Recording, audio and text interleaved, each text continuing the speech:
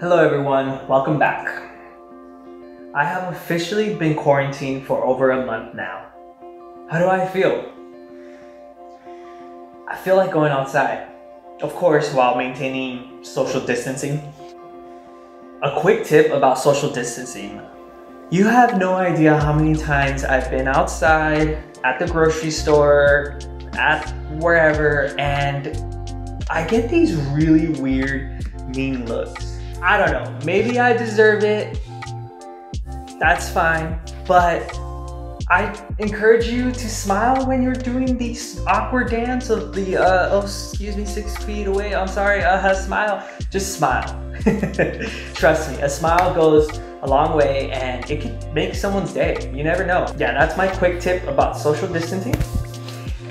Anywho,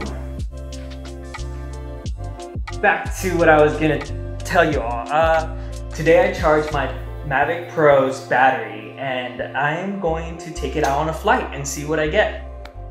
Shake it out.